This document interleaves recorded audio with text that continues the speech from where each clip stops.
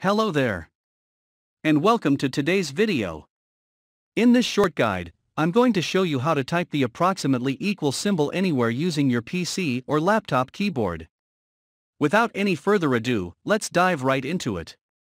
Before I show you, I just want to pull out the on-screen keyboard, since we are going to be using shortcuts. This is just a visual aid. Since you already have your keyboard, it is not something you need to use.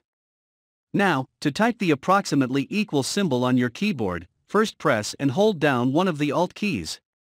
Whilst holding down to this key, come to the numeric keypad on the right, then type 247. After typing the code, now release the Alt key. As you can see, the approximately equal symbol is inserted successfully. Let's do that one more time. Just press down the Alt key.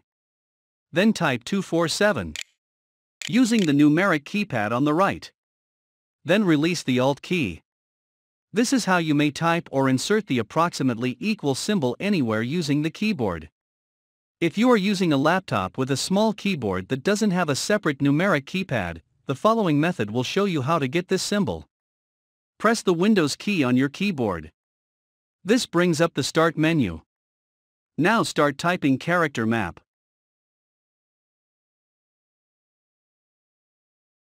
Once you see the character map in the search results, just click on it to open it. When it opens up, you'll see all these symbols. To easily locate the approximately equal symbol, you need to do a search. And to do a search, come down here and click on this checkbox where it says Advanced View. It will reveal to you these extra options.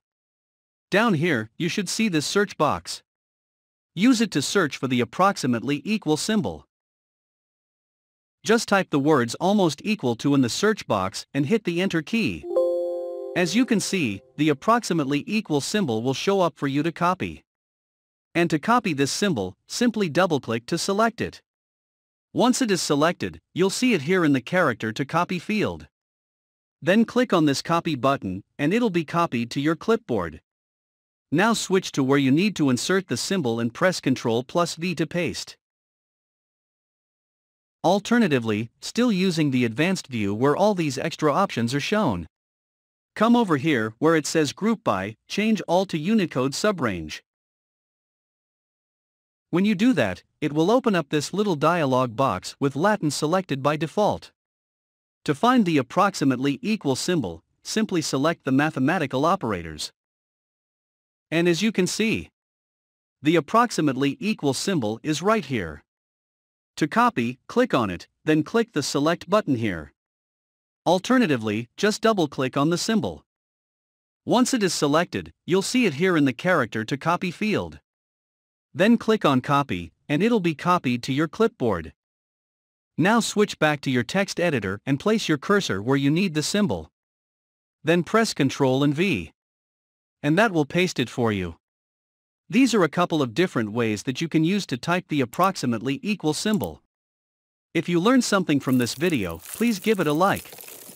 And don't forget to subscribe for more useful content.